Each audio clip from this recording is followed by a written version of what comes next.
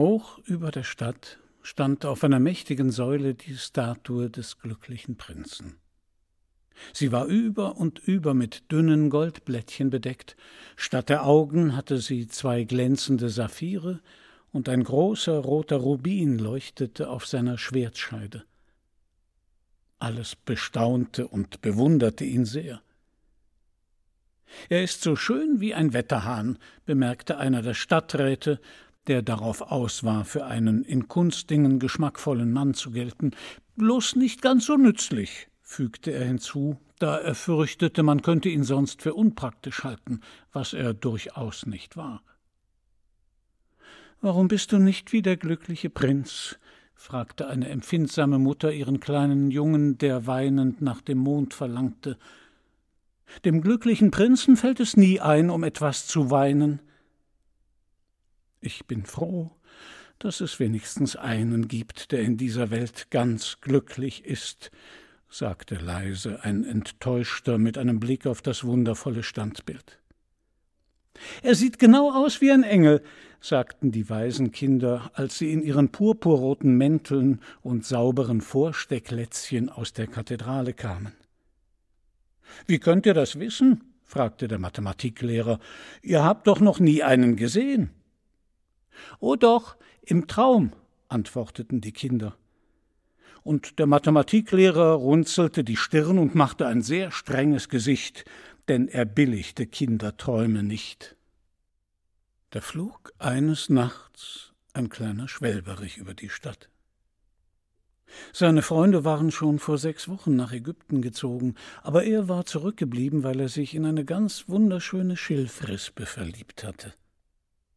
Ganz zeitig im Frühling hatte der Schwelberich die Rispe zum ersten Mal gesehen.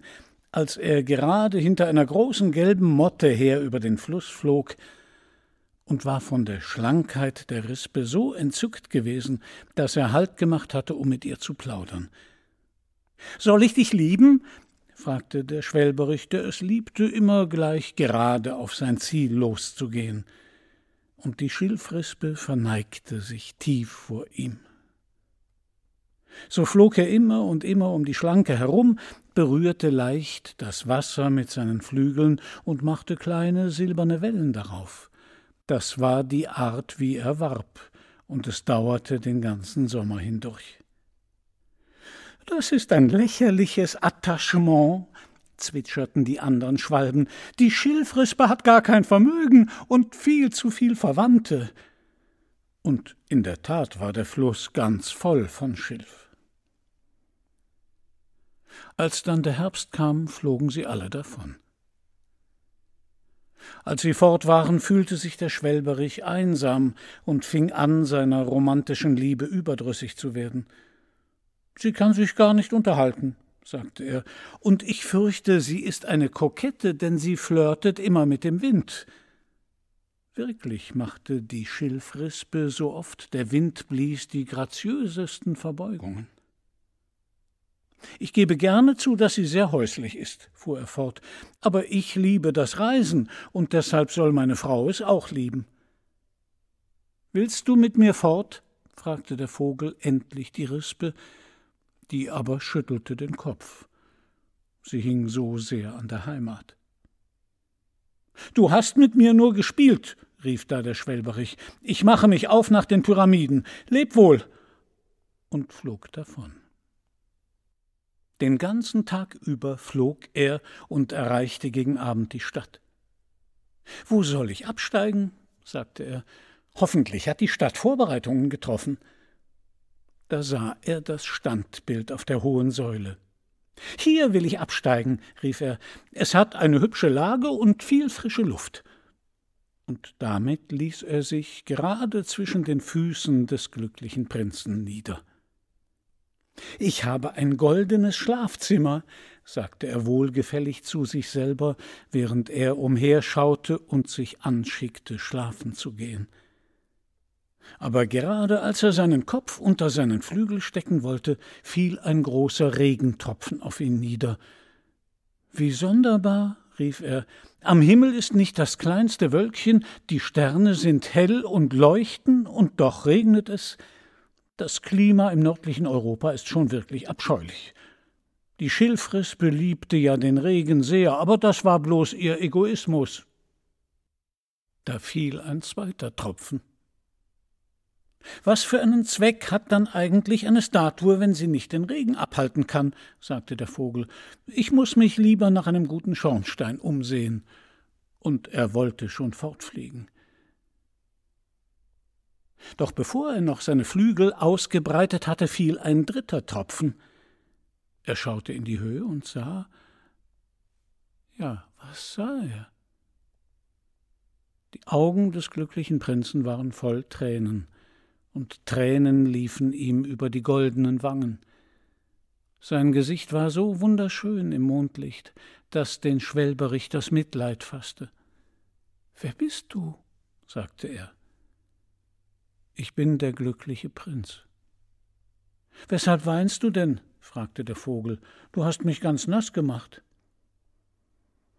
Als ich noch am Leben war und ein Menschenherz hatte, antwortete das Standbild, da wusste ich nicht, was Tränen sind, denn ich lebte in dem Palast ohne Sorge, in den die Sorge keinen Zutritt hat. Tagsüber spielte ich mit meinen Gefährten im Garten, und des Abends führte ich den Tanz in der großen Halle. Rund um den Garten lief eine sehr hohe Mauer, aber nie dachte ich daran zu fragen, was wohl dahinter läge, so schön war alles um mich her. Meine Höflinge nannten mich den glücklichen Prinzen, und glücklich war ich in der Tat, wenn Vergnügen Glück bedeutet. So lebte ich und so starb ich. Und nun, da ich tot bin, haben sie mich hier hinaufgestellt, so hoch, dass ich alle Hässlichkeit und alles Elend meiner Stadt sehen kann. Und wenn auch mein Herz von Blei ist, kann ich nicht anders als weinen. Wie, es ist nicht von echtem Gold? sprach der Vogel zu sich, denn er war zu höflich, als dass er eine so persönliche Bemerkung laut gemacht hätte. Weit fern von hier, fuhr die Statue mit einer leisen, melodischen Stimme fort, weit fern von hier, in einer kleinen, schmalen Gasse, steht ein armseliges Haus.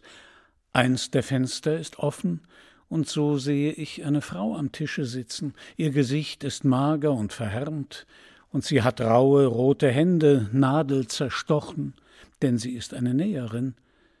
Sie stickt Passionsblumen in ein Seidenkleid, das die schönste von den Ehrendamen der Königin zum nächsten Hofball tragen soll. In einem Winkel des Zimmers liegt ihr kleiner Junge krank im Bett, er fiebert und verlangt nach Pomeranzen. Die Mutter kann ihm nichts mehr geben als Wasser aus dem Fluss, und daher weint er. Vogel, Vogel, kleiner Vogel, Willst du ihr nicht den Rubin aus meiner Schwertscheide hinbringen? Meine Füße sind an dem Sockel befestigt und ich kann mich nicht bewegen. Man erwartet mich in Ägypten, sagte der Schwelberich. Meine Freunde fliegen den Nil auf und nieder und unterhalten sich mit den großen Lotosblüten. Bald werden sie sich im Grab des großen Königs schlafen legen. Er ist in gelbes Linnen gehüllt und mit Spezereien balsamiert. Um seinen Hals liegt eine Kette aus blassgrünem Nephrit, und seine Hände sind wie vertrocknete Blätter. Vogel, Vogel, kleiner Vogel, sagte der Prinz, willst du nicht diese eine Nacht bei mir bleiben und mein Bote sein? Der Knabe ist so durstig und die Mutter so traurig. Ich glaube, ich mache mir nichts aus Knaben, antwortete der Schwelberich. Als ich letzten Sommer am Fluss wohnte, da waren so rohe Buben des Müllers Söhne, die immer Steine nach mir warfen. Getroffen haben sie mich natürlich nie, denn wir Schwalben fliegen dafür viel zu gut. Und ich stamme zudem aus einer Familie, die wegen ihrer Behendigkeit berühmt ist. Aber es war doch immerhin ein Zeichen von Respektlosigkeit. Aber der glückliche Prinz sah so traurig aus, dass es den kleinen Schwelberich bekümmerte. Es ist sehr kalt hier, sagte er, aber ich will trotzdem diese eine Nacht bei dir bleiben und dein Bote sein. Ich danke dir, kleiner Vogel, sagte der Prinz. So pickte der Schwelberich aus des Prinzen Schwert den großen Rubin und flog mit ihm weg über die Dächer der Stadt und trug ihn im Schnabel. Er flog an dem Turm des Domes vorbei, auf dem die weißen Marmorengel stehen. Er flog über den Palast hin und hörte die Musik von Tanzweisen. Ein schönes Mädchen trat mit seinem Geliebten auf den Balkon hinaus. Wie wundervoll die Sterne sind, sagte er zu ihr, und wie wunderbar die Macht der Liebe. Hoffentlich wird mein Kleid zum Staatsball fertig, antwortete sie. Ich lasse mir Passionsblumen darauf sticken, aber die Schneiderinnen sind so faul. Er flog über den Fluss und sah die Laternen an den Schiffsmasten. Er flog über das Ghetto und sah die alten Juden miteinander handeln und auf kupfernen Wagen das Geld wiegen. Endlich erreichte er das armselige Haus und schaute hinein. Der Knabe warf sich fiebernd hin und her, und die Mutter war vor Müdigkeit eingeschlafen. Hinein ins Zimmer hüpfte der Schwelberich und legte den Rubin auf den Tisch, gerade neben den Fingerhut der Frau. Dann kreiste er leise um das Bett und fächelte des Jungen Stirn mit den Flügeln. Wie kühl mir ist, sagte der Knabe, ich glaube, es wird mir besser. Und er sank in einen köstlichen Schlaf. Darauf flog der Schwelberich zurück zu dem glücklichen Prinzen und erzählte ihm, was er getan. Merkwürdig, sagte er, mir ist mit einem Mal ganz warm geworden, obgleich es so kalt ist. Das kommt von deiner guten Tat, sagte der Prinz und der kleine Vogel begann darüber nachzudenken und schlief ein. Denken machte ihn immer schläfrig. Als der Tag anbrach, flog der Vogel hinab zum Fluss und nahm ein Bad. Was für ein bemerkenswertes Phänomenon, sagte der Professor der Ornithologie, während er über die Brücke ging, eine Schwalbe im Winter und er schrieb darüber einen langen Brief an die Lokalzeitung. Alles sprach von diesem Aufsatz, der so wortreich war, dass niemand ihn verstehen konnte. Heut Nacht mache ich mich auf nach Ägypten, sagte der Schwelberich und war hochvergnügt bei dem Gedanken. Er besuchte alle Denkmäler und öffentlichen Bauwerke der Stadt und saß lange auf der Kirchturmspitze, wo immer er hinkam, da piepten die Spatzen, und einer sagte zum anderen Was für ein vornehmer Fremder. Und dabei amüsierte sich der Schwelberich sehr. Als der Mond aufging, flog er zurück zu dem glücklichen Prinzen. Hast du irgendwelche Aufträge für Ägypten? rief er. Ich reise gerade dahin ab. Vogel, Vogel, kleiner Vogel, sagte der Prinz, willst du nicht noch eine Nacht bei mir bleiben? Ich werde in Ägypten erwartet, antwortete der Schwelberich. Morgen fliegen meine Gefährten zum zweiten Katarakt hinauf. Dort liegt das Nilpferd unter den Binsen, und auf einem großen granitenen Thron sitzt der Gott Memnon.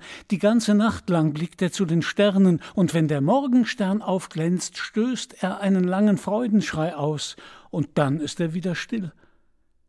Zu Mittag kommen die gelben Löwen ans Flussufer, um zu trinken. Sie haben Augen wie grüne Berylle, und ihr Gebrüll übertönt das Brüllen des Katarakts. Vogel, Vogel, mein kleiner Vogel, sagte der Prinz, weit weg über der Stadt sehe ich einen jungen Mann in einer Dachstube. Er lehnt sich über einen mit Papieren bedeckten Tisch, und neben ihm steht in einem Wasserglase ein kleiner Strauß verwelkter Veilchen.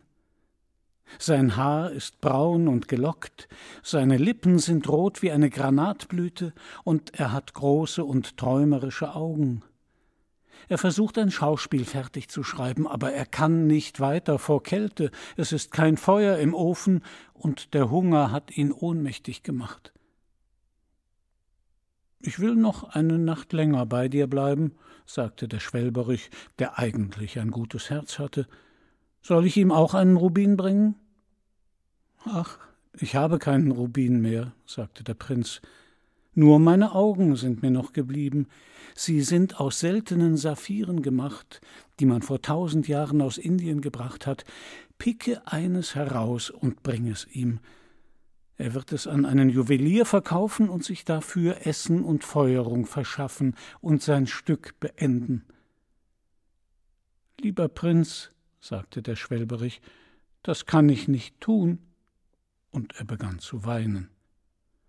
Vogel, Vogel, kleiner Vogel, sagte der Prinz, tu, wie ich dich heiße. Also pickte der Schwelberich dem Prinzen das Auge aus und flog zur Dachkammer des Studenten. Es war nicht schwer hineinzukommen, denn es war ein Loch im Dach. Durch das schlüpfte der Vogel in die kleine Stube. Der Jüngling hielt den Kopf in die Hände vergraben, und so hörte er nicht das Flattern des Vogels, und als er aufschaute, da fand er den schönen Saphir, der auf den verblaßten Veilchen lag. Man fängt an, mich zu würdigen, rief er aus. Das kommt sicher von einem großen Bewunderer. Nun kann ich mein Stück fertig schreiben. Und er sah ganz glücklich aus. Am nächsten Tag flog der Schwelberich hinab zum Hafen. Er setzte sich auf den Mast des größten Schiffes und beobachtete die Matrosen, die an Tauen große Ballen aus dem Schiffsraum emporwanden. Heb auf! schrien sie bei jedem Ruck am Tau. Ich gehe nach Ägypten, rief der Vogel, aber niemand achtete auf ihn, und als der Mond aufging, flog er zu dem glücklichen Prinzen. Ich komme dir Lebewohl zu sagen, rief er. Vogel, Vogel, kleiner Vogel, sagte der Prinz, willst du nicht noch eine Nacht bei mir bleiben? Es ist Winter, sagte der Schwelberich, und der kalte Schnee wird bald da sein. In Ägypten scheint die Sonne warm auf die grünen Palmen, und die Krokodile liegen im Schlamm und schauen faul vor sich hin. Meine Gefährten bauen ihr Nest im Tempel von Baalbek, und die weiß und rot gefiederten Tauben schauen ihnen zu und girren. Lieber Prinz, ich muss dich verlassen, aber ich will dich nie vergessen, und im nächsten Frühling bringe ich dir zwei schöne Edelsteine wieder für die, die du weggegeben hast. Der Rubin soll röter sein als eine rote Rose und der Saphir so blau wie die große See. Dort unten auf dem Platz, sagte der Prinz, da steht ein kleines Streichholzmädchen. Die hat ihre Hölzer in die Gosse fallen lassen, und sie sind alle verdorben. Ihr Vater wird sie schlagen, wenn sie ihm kein Geld heimbringt, und sie weint. Pick mir das andere Auge aus und gib es ihr, und ihr Vater wird sie nicht schlagen. Ich will noch eine Nacht bei dir bleiben, sagte der Vogel, aber ich kann dir dein Auge nicht auspicken. Du wärest dann ja ganz blind. Vogel, Vogel, kleiner Vogel, sagte der Prinz, tu, wie ich dich heiße. Also pickte der Schwelberich dem Prinzen auch das andere Auge aus und flog damit weg. Er strich über den Kopf des Mädchens hin und ließ den Edelstein in ihre Hand gleiten. Was für eine hübsche Glasscherbe, rief die Kleine und lief vergnügt nach Haus. Darauf kam der Vogel zum Prinzen zurück. Nun bist du blind, sagte er. So will ich immer bei dir bleiben. Nein, kleiner Vogel, sagte der arme Prinz, du musst fort nach Ägypten. Ich will immer bei dir sein, sagte der Schwelberich und schlief zu Füßen des Prinzen ein. Am nächsten Tag setzte er sich dem Prinzen auf die Schulter und erzählte ihm Geschichten von all dem, was er in fremden Ländern gesehen hatte. Er erzählte ihm von den roten Ibissen, die in langen Reihen an den Nilufern stehen und mit ihren Schnäbeln Goldfische fangen, von der Sphinx, die so alt ist wie die Welt und in der Wüste lebt und alles weiß, von den Kaufleuten, die langsam neben ihren Kamelen einhergehen und Rosenkränze aus Bernstein in den Händen tragen, vom König des Mondgebirgs, der so schwarz ist wie Ebenholz und einen großen Kristall anbetet, von der großen grünen Schlange, die in einem Palmenbaum schläft und zwanzig Priester hat, die sie mit Honigkuchen füttern, und von den Pygmäen, die auf breiten, flachen Blättern über einen großen See segeln und mit den Schmetterlingen immer im Krieg liegen. Lieber kleiner Vogel, sagte der Prinz, du erzählst mir von wunderbaren Dingen, aber wunderbarer als alles ist das Leiden von Mann und Weib. Kein Mysterium ist größer als das Elend. Fliege über meine Stadt, kleiner Vogel, und dann erzähle mir, was du darin gesehen hast. Also flog der Schwelberich über die große Stadt und sah die Reichen froh und lustig in ihren schönen Häusern, während die Bettler an den Toren saßen. Er flog in dunkle Gassen hinab und sah die weißen Gesichter hungernder Kinder gleichgültig auf die schwarzen Straßen schauen. Unter einem Brückenbogen lagen zwei kleine Buben und hielten sich umschlungen, um sich aneinander zu wärmen. Wir haben solchen Hunger, sagten sie. Ihr dürft hier nicht liegen, schrie sie der Wächter an, und so wanderten sie hinaus in den Regen. Dann flog der Vogel zurück zum Prinzen und erzählte ihm, was er gesehen hatte.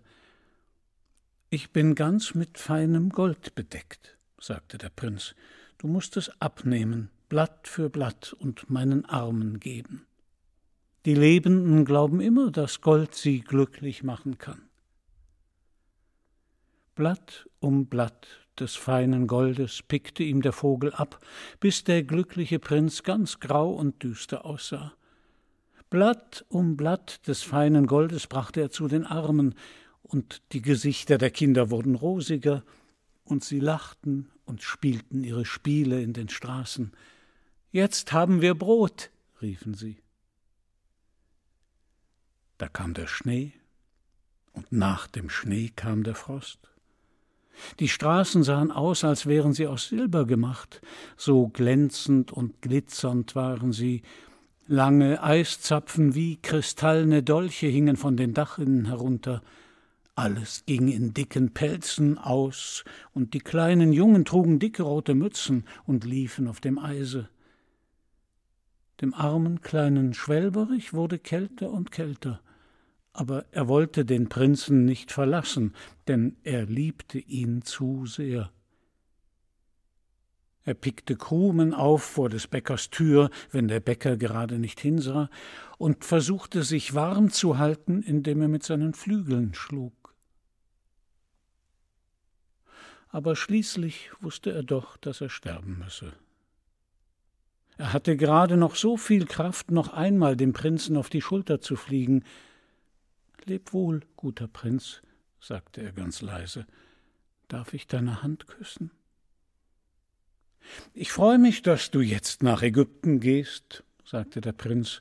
Du bist schon zu lange hier geblieben, kleiner Schwelberich, aber du musst mich auf den Mund küssen denn ich liebe dich. Ich gehe nicht nach Ägypten, sagte der Schwelberich, ich gehe in das Haus des Todes. Der Tod ist der Bruder des Schlafes, nicht wahr? Und er küsste den glücklichen Prinzen auf den Mund und fiel tot nieder vor seine Füße.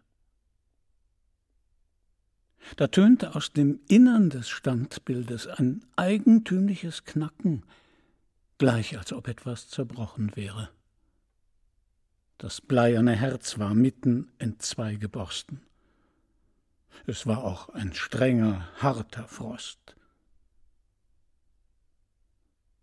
Früh am Morgen des nächsten Tages ging der Bürgermeister mit den Stadträten über den Platz. Als sie an der Säule vorbeikamen, schaute er zu dem Standbild hinauf. Herrgott, wie schäbig der glückliche Prinz aussieht, sagte er. Wirklich schäbig, sagten die Stadträte, die immer der Ansicht des Bürgermeisters waren, und dann schauten sie das Standbild an. Der Rubin ist aus seinem Schwert gefallen, seine Augen sind fort und vergoldet ist er auch nicht mehr, sagte der Bürgermeister. Er sieht wahrhaftig nicht viel besser aus als ein Bettler. Wenig besser als ein Bettler, sagten die Räte. Und hier liegt wahrhaftig ein toter Vogel zu seinen Füßen, sagte der Bürgermeister. Wir müssen wirklich eine Bekanntmachung erlassen, dass es Vögeln nicht erlaubt ist, hier zu sterben. Und der Stadtschreiber notierte diesen Vorschlag. So wurde das Standbild des glücklichen Prinzen abgebrochen.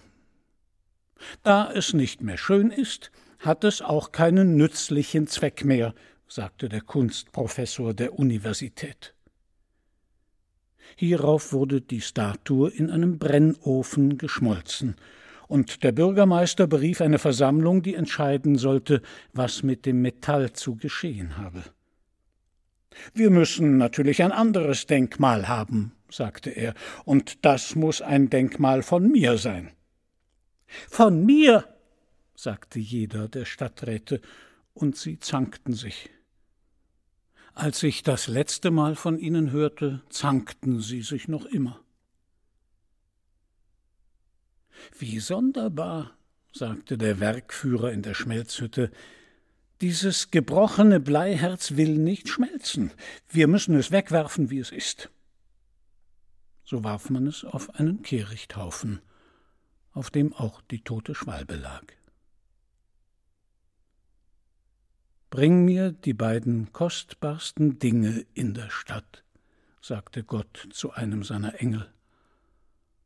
Und der Engel brachte ihm das bleierne Herz und den toten Vogel.